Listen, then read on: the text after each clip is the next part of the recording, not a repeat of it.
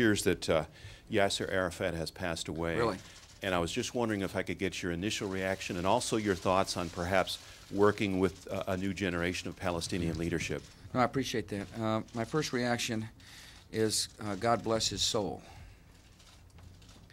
And uh, my second reaction is is that uh, we will continue to uh, work for a free Palestinian state that's at peace uh, with Israel. Yeah.